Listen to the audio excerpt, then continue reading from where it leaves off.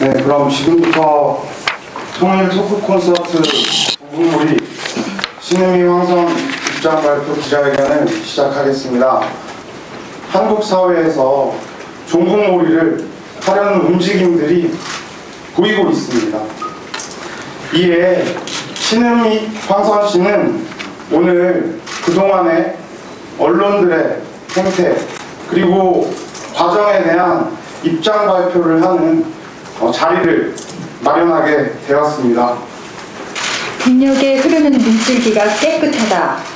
대동강 맥주가 맛있었다. 새 지도자가 나타났으니 변화가 있을 거라고 북한 주민들은 기대하고 있더라. 라는 말이 어떻게 북한을 고무 찬양한다고 할 수 있습니까? 새 쌍둥이를 출산할 때 헬리콥터로 수송한다고 하는 그런 탈북자들조차 하는 이런 이야기가 어떻게 국가의 안보를 위태롭게 한다고 할 수 있겠습니까? 우리는 우리가 직접 가서 보고 경험한 북한 동포들의 다양한 생활과 생각을 알리는 것이 현 정부의 통일 정- 정책에 도움이 되리라는 생각에서 이번 토크 콘서트를 준비하였습니다. 하지만 TV조선을 비롯한 종편 언론들은 우리가 진행한 토크 문화 콘서트를 종북 토크 콘서트 쇼라고 허위 왜곡 보도하였습니다. 북한을 지상 낙원이라고 했다느니 3대 세습을 찬양했다느니 심지어는 북한 통전부의 지령을 받았다는 등 하지도 않은 말들을 조작하며 우리를 종북몰이와 마녀사냥으로 내몰았습니다. 이런 허위 보도는 우리뿐 아니라 콘서트 출연진과 주최 측 그리고 관객들의 명예를 실추시켰고 남북 하- 화해와 평화, 통일을 바라는 민족의 가슴에 씻을 수 없는 상처를 주었습니다. 이에 우리는 종편 언론들의 허위 왜곡 보도 행태를 바로잡고 건전한 통일문화 행사들이 활발히 이루어지기를 바라는 마음에서 최초 허위 왜곡 보도를 한 TV조선 방송사와 뉴스세븐 출연, 출연진과 제작진 전원 그리고 조선일보 기자와 발행인을 이미 어제 검찰에 고소했습니다. 아, 그리고 다른 허위 왜곡 언론 보도도 계속 취합하고 있으며 어, 해당 언론사 및 관계자 모두 고소할 것입니다. 하지만 우리는 법적 대응을 넘어 통일 토크 콘서트의 진정성을 알리기 위해 첫째, 어, 종편을 포함한 방송사, 언론사, 그리고 공안기관, 대북 정책 관련 정부 당국자를 우리의 통일 토크 콘서트에 정중히 초청합니다. 어, 더불어 방송사 생중계를 제안합니다. 둘째, 우리는 어, 유엔 인권위, 엠네스티 등 국제기구와 유엔 안보리 상임이사국 정상들에게 표현의 자유가 침해된 현 사태를 서한을 통해서 알릴 것입니다. 얼마 전 정부는 대북 전단 살포에 대해 표현의 자유를 보장해야 한다며 이를 허용하였습니다. 우리 사회에서 이 자유는 선별적으로 주어지는 것입니까? 통일 토크 콘서트에도 표현의 자유는 동등하게 보장되어야 합니다. 마지막으로 우리의 통일 토크 콘서트가 북한에 대한 무관심과 냉대의 시선에서 벗어나 우리 동포에게 한 걸음 다가가는 계기가 되기를 희망합니다. 2014년 12월 2일 신은미 황선 네, 이어서 별도로 신은미 씨의 별도 제안 말씀이 있겠습니다. 저는 어린 시절에 어, 리틀 엔젤스라는 공연단에 들어가서 국가사절단의 자격으로 어, 전 세계를 돌아다니면서 대한민국의 어, 국기를 선양하는 데 힘을 썼습니다.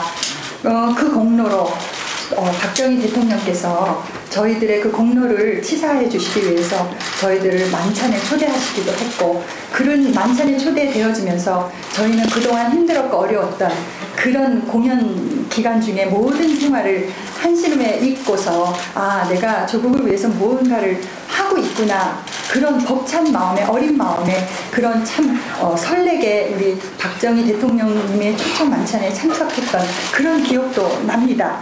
어, 지금도 그렇습니다. 저는 북한의 현실을 보고 느끼고 어, 제가 다그 실상을 있는 그대로 전하는 것이 남북 통일에 도움이 되는 것이라고 생각하고요. 그 또한 최고의 지금에 있어서 어, 국가 선양, 어, 국, 국위를 선양하는 그런 일이라고 저는 생각하기에 통일을 어, 토크 콘서트의 제안에 흔쾌히 응했습니다. 어, 우리 어, 박근혜 대통령님께서도 2002년에 어, 방북 당시 그 남북 관계 개선을 위해서 적극적으로 노력하셨던 것을 저희는 알고 있습니다. 박 대통령께서 그때 느끼셨던 지금 또 갖고 계시는 그 마음과 저희 마음이 저는 크게 다르지 않다고 생각을 합니다. 현재 북한의 모습을 있는 그대로 전해드림으로써 말미암아 우리 박근혜 대통령 정부의 향후 어, 통일 정책에 도움이 되는 그런 일에 어, 저는 기여하고 싶습니다. 조그마나마 그리고 또 해외 동포로서 해외에 살고 계시는 우리 많은 동포분들의 마음을 담- 담아서 우리 민족의 화, 평화로운 통일, 평화롭게 함께 살아가는 그래서 더 다시금 찬란한 우리의 역사를 어, 다시금 만들어가는 그것에 저희 해외 동포들도 마음을 모으고 있습니다. 그래서 저희는 어, 저는 지금 이 시간에 어, 박근혜 대통령님께 정기는 어, 면담을 요청하는 바입니다. 고맙습니다. 법정 대응 계획을 김종기 변호사님을 통해서 어, 이야기 듣도록 하겠습니다. 이제 그 고소 내용에 대해서 간단히 말씀드리면 어, 첫째로 그 제목입니다. 그 정부 콘서트라는 제목. 최근 올 8월에 서울고등법원에서 그 민사, 민사 판결이긴 하지만 정북이라는 표현에 대해서 명확하게 판단을 한 바가 있습니다. 네, 정북이라는 표현은 주사파와 같은 계열에 있는 표현이고 어, 대한민국의 정체성과 헌법적 기본 질서를 부정하는 그러한 어떤 생각을 가진 사람이다라는 그런 설치를 했고 그런 표현이 명예훼손이 된다라고 판단을 했습니다. 그래서 이번 제목부터 뭐 서울 한복판에서의 어, 전국 콘서트 이런 표현 자체가 명예훼손이 될 수 있고 구체적으로 뭐 북한 정권과 북한의 현대 세습을 찬양했다 또는 미국에서 북한을 찬양하는 강연을 활발히 하고 있다 그리고 어, 유엔 총회 그 결의를 비하하고 조롱했다. 뭐 남한 남, 남한과 자본주의를 뭐 비하했다. 이런 식으로 하지 않은 발언을 했다고 했기 때문에 그것은 명예훼손이 되고 단순한 왜곡이 아니라 이거는 허위 사실을 적시한 것이다. 그런 측면에서 그런 점을 중심으로 고소장을 작성했습니다. 향후 대응에 대해서 말씀드리면은